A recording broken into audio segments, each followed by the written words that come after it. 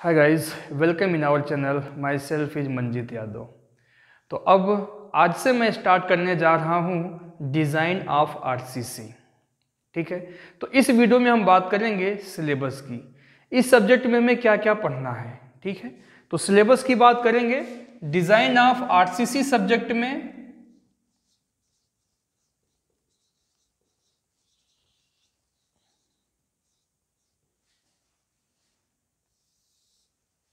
RCC के अभिकल्पन।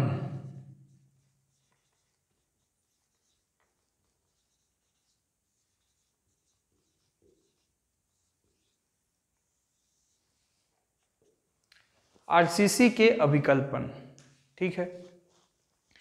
तो इसमें जो हमें पढ़ना है डब्ल्यूएसएम और एलएसएम दोनों ही मेथड दिया गया है आपके सिलेबस में। तो पहला चैप्टर है आपका इंट्रोडक्शन। तो सबसे पहला चैप्टर जो हम लोग पढ़ेंगे इंट्रोडक्शन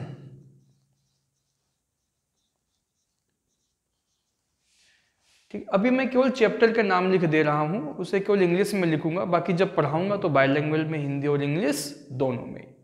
पहला चैप्टर है आपका इंट्रोडक्शन इस इंट्रोडक्शन में हम लोग क्या पढ़ेंगे? आरसीसी क्या होता है?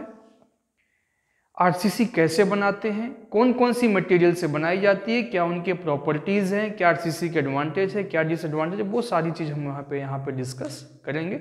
जब हम चैप्टर स्टार्ट करेंगे, उसी समय में आपको उस टॉपिक में, उस चैप्टर में जितने भी टॉपिक कवर करने वाले रहेंगे, उसको उसी समय डिस्कस कर लेंगे, ठीक है? अभी केवल बस इतना देखना है कौन कौन से चैप्टर आपके सिलेबस में दिया गया और कौन कौन से हम पढ़ने वाले हैं।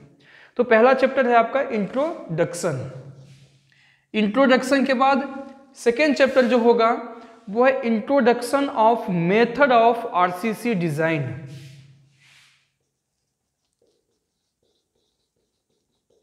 introduction of method of RCC design ठीक है? उसके बाद थर्ड चैप्टर की बात करें। तो shear and development length by W S M shear and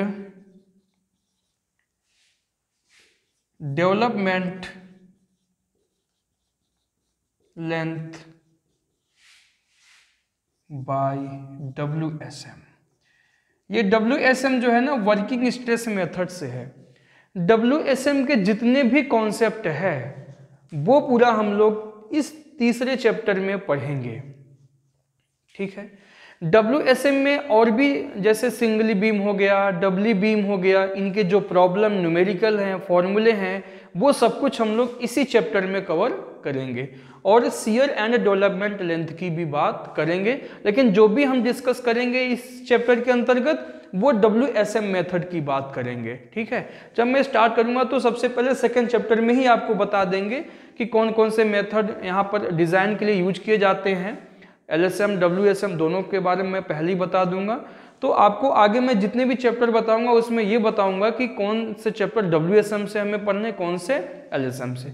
वैसे डब्ल्यू एस एम से ज़्यादा दिया नहीं गया है आपके सिलेबस में, केवल तीसरा चैप्टर ही बस आपको यहाँ पे डब्ल्यू एस एम करना है। उसके आगे जितने भी आपको चैप्टर मिलेंगे, वो सभी एलएसएम से मिलेंगे, यानी लिमिट स्टेट मेथड से। डब्ल्यूएसएम का मतलब क्या होता है? वर्किंग स्ट्रेस मेथड से। तो जैसे आगे पढ़ेंगे, आपको समझ में आ जाएगा। चौथा चैप्टर है आपका concept of limit state method यहाँ से आपका स्टार्ट हो जाता है एलएसएम यानी लिमिट स्टेट मेथड ठीक है? तो एलएसएम के क्या कॉन्सेप्ट है, वो हम चैप्टर फोर्थ में देखेंगे। ठीक है? उसके बाद चैप्टर फाइव में design of singly reinforced beam singly reinforced beam इसे एलएसएम से हम लोग यहाँ पे डिज़ाइन भी करेंगे और इसके न्यूमेरिकल भी सॉल्व करेंगे। उसके बाद अगले चैप्टर में डबली रेनफोर्स्ड बीम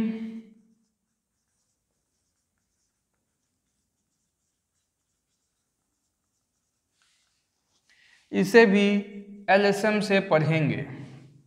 ठीक है? उसके बाद सेवन चैप्टर की बात करें अगर हम तो यहाँ पर हम टी बीम और एल बीम के पूरा कॉन्सेप्ट क्लियर करेंगे यहाँ पर। टी बीम और एल बीम इसका डिज़ाइन आपके सिलेबस में नहीं दिया गया है बट इसके जो थ्योरी कॉन्सेप्ट हैं, वो हम लोग यहाँ पर पढ़ेंगे। ठीक है? उसके बाद स्लैब आ जाता है आपका, यानी कि वन वे स्लैब और इसे जो है एलएसएम मेथड से ही पढ़ना है। अगला चैप्टर में टू वे स्लैब। ये भी एलएसएम से है। उसके बाद next, axially loaded of column.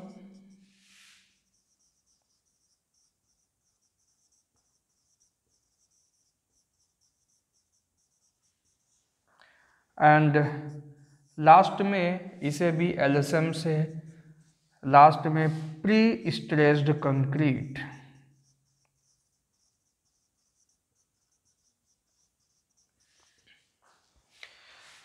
तो ये था आपका सिलेबस कि कौन कौन से चैप्टर हमें इस आरसीसी डिज़ाइन में पढ़ना है।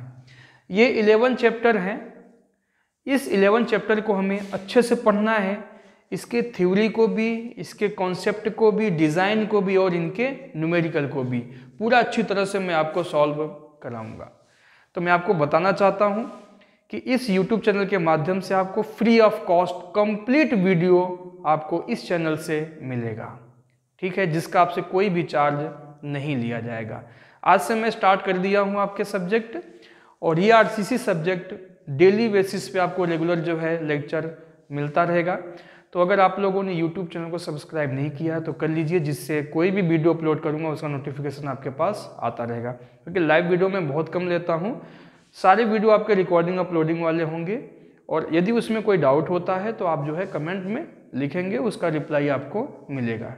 क्योंकि इसमें यह बेनिफिट है आपको कि ज़्यादा टाइम वेस्ट नहीं होता है। लाइव में बहुत ज़्यादा टाइम वेस्ट होता है, ठीक है?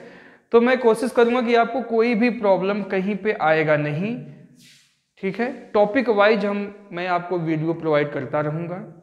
ठीक है? चलिए, फिर मैं मिलता हूँ नेक्स्ट वीडियो में और पहले चैप्टर से, यानी इंट्रोडक्शन से।